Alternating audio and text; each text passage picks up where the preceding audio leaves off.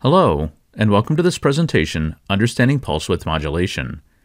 In this presentation, we'll provide a short technical introduction to pulse width modulation, some of the most common applications of pulse width modulation, and how pulse width modulation is measured and analyzed. Let's start by talking about a common task, controlling the amount of power delivered to a load.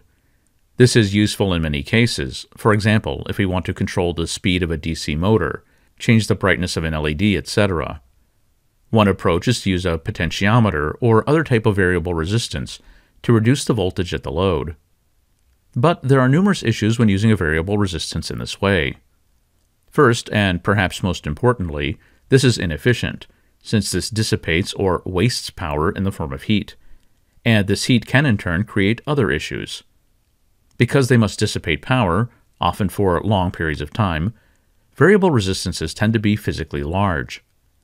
In addition, mechanical control is typically required for many variable resistances, making it difficult to quickly or precisely control the voltage or power. Instead of varying the voltage, we could instead control power by turning the voltage on and off, that is, by providing voltage in the form of pulses. Unlike the previous example, in which the voltage was raised or lowered, here the amplitude or height of this pulsed voltage remains constant. We can change the average voltage by changing the width of these pulses, or the percentage of time the voltage is on. Longer on time means more power delivered, and shorter on time means less power delivered. This process of changing the width of a pulsed voltage is referred to as pulse width modulation. Pulse width modulation is very common in a wide variety of applications. We'll provide an overview later in this presentation. It's primarily used to control the amount of power delivered to a device, but in some cases it can be used to convey information, or to control slash configure a device.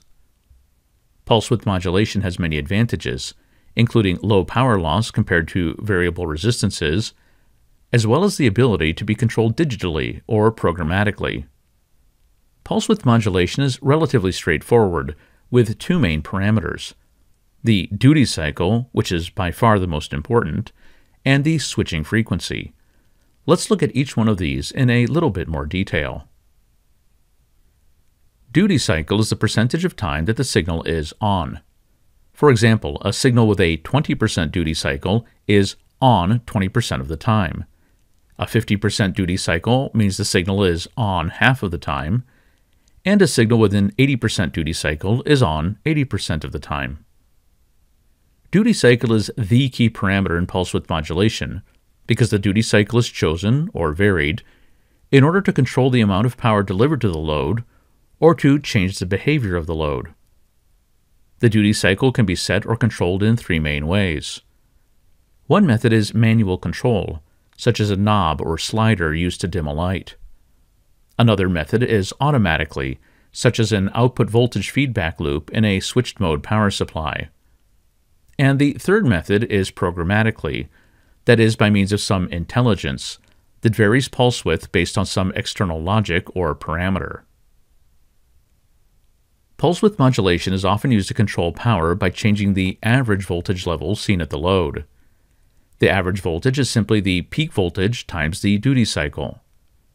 For example, if we have an 80% duty cycle and a peak voltage of 5 volts, the average voltage will be 5 times 0.8 or 4 volts. A 50% duty cycle would yield an average voltage of 2.5 volts, and decreasing the duty cycle to only 20% would decrease the average voltage to only 1 volt. As can be seen here, lowering the duty cycle lowers the average voltage and vice versa. The other pulse width modulation parameter is the switching frequency, which can be defined as the reciprocal of the time between the rising edges of the voltage pulses. The necessary switching frequency depends on the load or on the application, with frequency ranging from the tens of hertz all the way into the high kilohertz range. Generally speaking, applications that require faster or more granular control will require higher switching frequencies. But note that in most applications, the switching frequency is fixed at a certain value. Note that the example waveforms shown on the right both have the same duty cycle, of 50%, but have different switching frequencies, the waveform on the bottom having a switching frequency that is twice that of the waveform above it.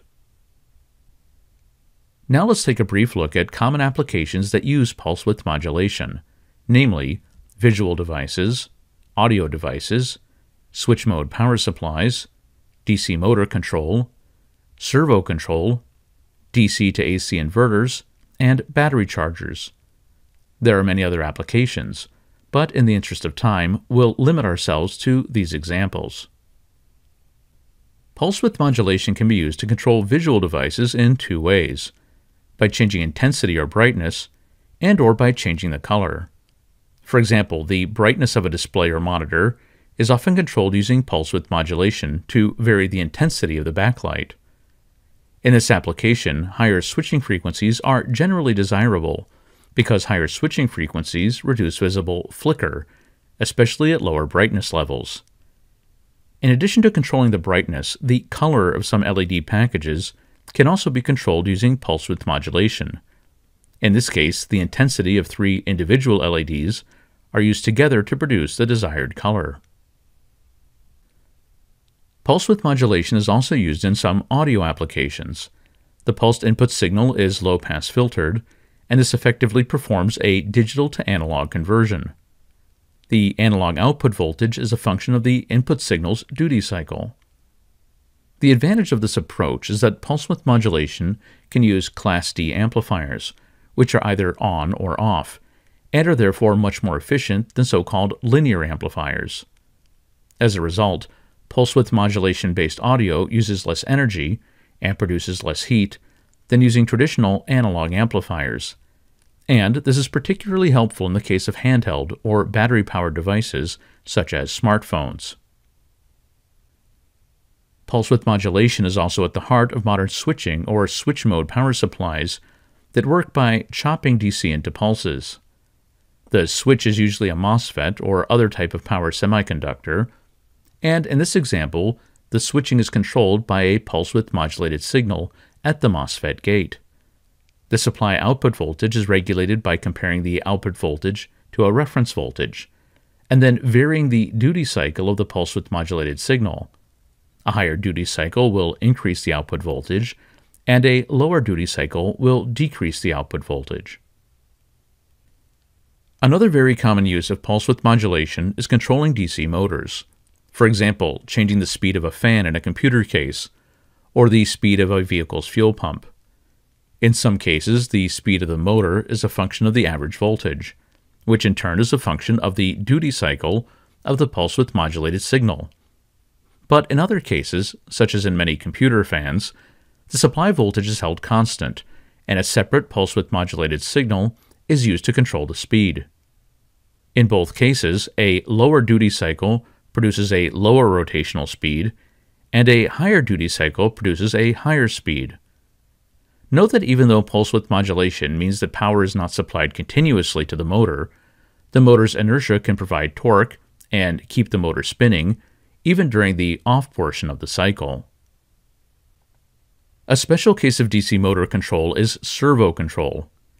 Instead of controlling speed, as in the DC motors we just looked at, here pulse width is used to control the position of the servo. The pulse widths indicate the offsets from the servo's neutral or zero degree position. For example, pulses with this width are used to place the servo in the neutral position, but pulses with this width are used to rotate the servo 150 degrees. It's important to keep in mind that in most modern implementations, the width alone, not the duty cycle, is used to control the servo position. Servo power is provided over a separate, that is, non pulse width modulated, constant voltage connection. DC to AC inverters also make use of pulse width modulation. In a pulse width modulation based inverter, duty cycle is varied in a sinusoidal fashion, and this pulse signal is then low pass filtered to produce a smooth AC output signal. This is similar to our previous example of audio signals. And similar to our previous example of switch mode power supplies, the output voltage can be held steady under changing load conditions by monitoring the output voltage and adjusting the duty cycle as necessary. This ability to provide a steady output in the face of different load conditions makes inverters based on pulse width modulation technology superior to conventional DC to AC inverters. Another power related application of pulse width modulation is battery chargers or charge controllers, and this is particularly common when charging from solar panels. There are two general requirements when charging batteries. The first is to prevent overcharging, as this can damage the battery. The second is to ensure the correct direction of current flow. When charging a battery, the charging voltage must be reduced as the battery approaches capacity. But if the charging voltage were to become less than the battery voltage, current could flow out of the battery instead of into the battery. Both of these requirements can, however, easily be met with pulse width modulation. The controller simply produces pulses with the widths necessary to create the desired average voltage. Testing or analyzing pulse width modulation is usually performed using an oscilloscope and appropriate voltage probes.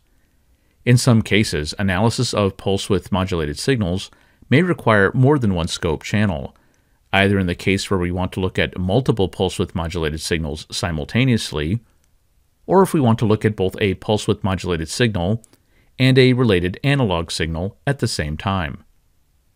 The basic measurement parameters of pulse width modulated signals, such as duty cycle and frequency, are relatively easy to measure with an oscilloscope, either manually using cursors or by means of automatic measurement functions.